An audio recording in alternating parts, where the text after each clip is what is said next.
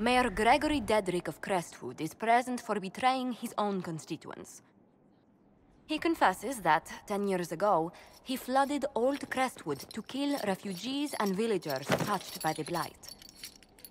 The mayor claims it was to spare the rest of Crestwood, but we only have his word.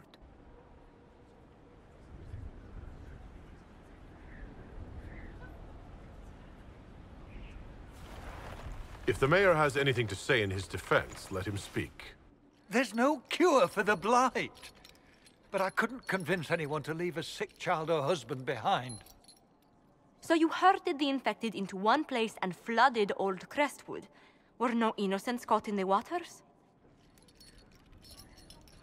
Nearly everyone in the village had the Blight. I swear it. Have mercy. I couldn't tell the survivors I'd drowned their own families to save them. I, I, I couldn't.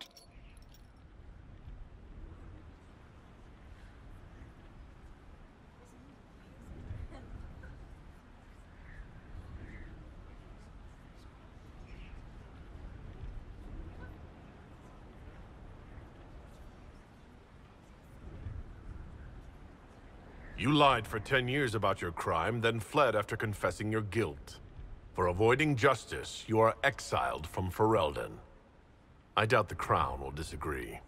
I knew your coming meant the end, one way or another.